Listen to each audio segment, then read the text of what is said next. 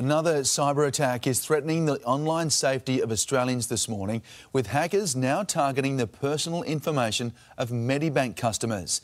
The health insurer confirming it has received messages from a group looking to sell confidential customer information, including sensitive health conditions and credit card details. Well, a big worry for a lot of Australians this morning. This news almost 4 million Medibank customers are waking up to this. Hackers claim to have stolen tons of data and are holding it at a ransom. Joining us with his insight is cybersecurity expert Troy Hunt. Nice to see you this morning, Troy. We're still waiting for this to be verified, but how concerning is it?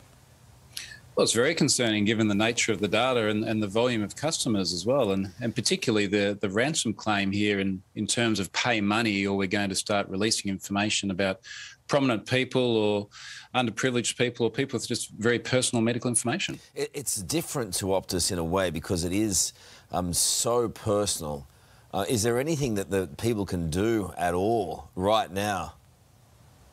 There's, there's, really not. I mean, once that data is out there, it's it's out of your control. It's out of Medibank's control. So at the moment, everyone's just waiting to to see if the claims are true, and, and if they are, what information is out there and what gets leaked. What would be happening behind the scenes right now at Medibank? And I know that the Home Affairs Department is involved too.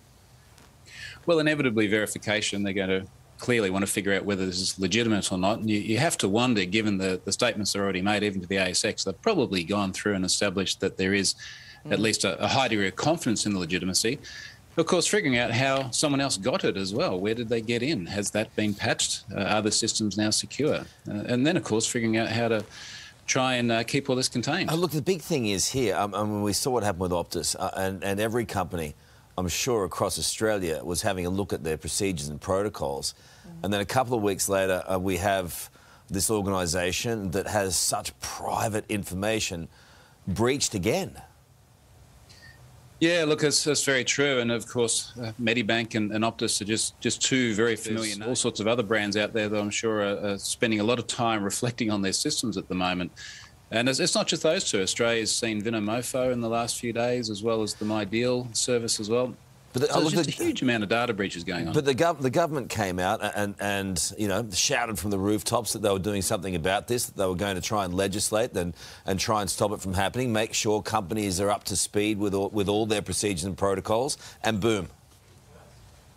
Yeah, look, we've got to remember we're in the same boat as everyone else around the world. Everyone's getting targeted at the moment. There's so much information that is online. It's, it's such a, a rich field of personal data and the attackers could well be somewhere on the other side of the world with very little chance of, of being found or any recourse against them. So, you know, they see this as low risk, high reward, and it's, it's really not surprising we're seeing more of it. So, Troy, what faith can we have in our information online being safe? It's a bit of an absolute term, isn't it? Is it safe or unsafe? I think the only thing that we know at the moment is that when we provide information to another party, uh, not necessarily online, even in paper form, it, it ends up being digitised and there's always a risk of exposure. Uh, and this is just the, the reality of, of having very digital lives these but days. we have such faith, though. Uh, in these companies. And again, um, the government was trumpeting this, they were doing something about it. We know that there are going to be breaches sometimes, but, but companies need to be up to speed, don't they? I mean, that something needs to be done now, today, in, in order to stop our personal information from getting out there. It's not good enough. Well, we, we really want to know, particularly in the case of something like Optus, which we're now many weeks into, like what actually happened? Did they take right. Mm. reasonable steps under the circumstances and someone was just super sophisticated and managed to get through all the defences?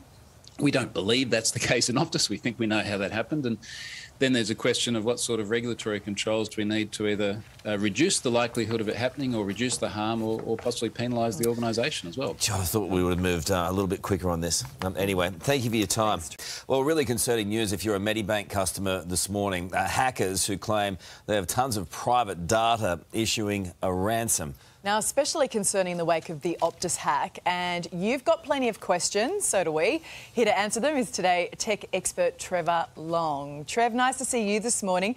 Do we know what information they've got? Well, this is the problem. We know what information Medibank has. We don't yet know what the alleged hackers have. In the case of the Optus one, they provided some evidence. They, they kind of showed what information they have. But here, the hackers are essentially saying we've got private information about diagnosis, uh, about uh, treatments, uh, obviously other personal information, and that's that's the concern for both Medicare and the Medicare customers right now. Weird lack. I mean, the lack of information, transparency here. I, I, guess they're trying to balance the whole idea of giving out the information um, that has been hacked, but. I mean, I thought we'd, we'd at least try to address this, and the government tried to address it, try to ensure that companies are on top of this. They can't get this kind of personal data, and they've got maximum protection. Well, that's the problem, Carl. We, we, we're going to have to act on all this, you know, retrospectively and going forward, but it doesn't change any existing cyber attacks. So the government can bring in all the legislation in the world, which we need to, uh, about encryption and where data is held and how. But the fact is that if these systems, whether it's uh, Medibank, Optus, MyDeal through Woolworths, if these systems are open to hackers, they can get the information. And what's going to happen here is if Medibank don't pay a ransom, which I don't believe they should, of course, um, the, if, they, if the hacker does have information about individuals, they will contact individuals and potentially ransom them. And that's where the next concern is going to be is emails we're going to get that may be scams, mm. but may be legitimate hackers suggesting that they know things about us and they're going to release it on the internet. And that's going to put people who don't want their private medical information shared online. And, and this is the issue, isn't it? And different to Optus, this is incredibly private information that could potentially be shared. Look, um, we, have had a couple of questions coming in that we want to put to you. Um, this one from David Quinn, and this is one that's shared by quite a few people. What should we do to protect ourselves and our personal information? Well, this is the challenge. The information that's being hit here is with other other companies. So for you as an individual, what you need to do is be vigilant about the emails you receive, the text messages you receive, and, and don't trust those things when there's information. Have internet security software that can actually protect your identity a little bit online. But in this case, again, it's less about your identity and identity fraud and more about you being either ransomed or scammed. So high alert around information about your health information. Okay, another question um, here from Michael who says, How will I tell the difference between an authentic email uh, from Medibank and one that's fake? Well, if you have been getting emails from Medibank, and I'm a Medibank customer, I've got an email on the 13th, the 17th, and 19th of October you'll know what that looks like, and they don't include links to anything but their information page. So if you get an email from Medibank suggesting you click here to protect your information, click here to update or remove your information from our systems, do not believe it, do not click it. The only place you should go is the Medibank website. And by the way, it's also AHM, which is another kind of sub brand under the Medibank banner. Those are the places to go. Just go directly to the websites. Don't trust anything in those emails if there's links to other things or calls to action in emails. It is scary for a lot of people. Thanks, Trev. Scary. It makes me sick. Mm. Like this is this is horrendous for people that they're the most personal, private health information mm. and being potentially exposed. Like it, it really, it, I feel really aggrieved about this, even more so than Optus. I mean, it's just, it's awful for people out there sitting there going, is, are people going to find out my details about what happened in this operation? And mm. like, it, it, we need to, then the government said they, uh, a couple of weeks ago they'd be right on top of this. They need to be right into Medibank right now, um, to, trying to find out if they had all the walls up they needed to. Well, how can any of us feel safe with the information we share with whether it's our telecommunications company, yeah. whether it's a health insurance company? Especially with your health history. Well, that's it. No one wants to read that.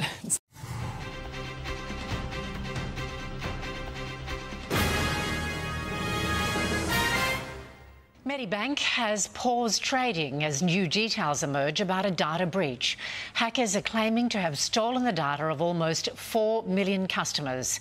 As Liam Tapper reports, the health insurer says it's received messages from the group looking to negotiate. Hey, good morning. Well, the latest company here in Australia to fall victim to a cybersecurity attack, Medibank Private, is now facing an escalating problem. The people claiming to be behind this latest data hack are now wanting to be in negotiations with the company over a ransom amount to be paid for this specific data. Now, Medibank haven't confirmed whether they will in fact negotiate with these people. However, they do say that they are investigating this and taking it seriously. They've employed a third-party cybersecurity firm along with working with the Australian Cyber Security Centre. They've been quite rapid to uh, to come out with comms to the public to explain what's been happening. They've provided updates as well, um, but they haven't gone into an enormous amount of detail until they're they're certain as to what's going on. They've also pulled in the, the help and support of the ACSC and the Information Commissioner, shows they're taking this threat very, very seriously. Now, some 4 million Medibank customers are set to be impacted by this hack, and it's raised real concerns about just how much information these companies hold about individuals and also what can happen if it goes wrong. Now, this is just the latest in a number of recent data hacks, of course. Woolworths and Optus were both victims in recent weeks. Medibank say that they are working as hard as they can to make sure that they get on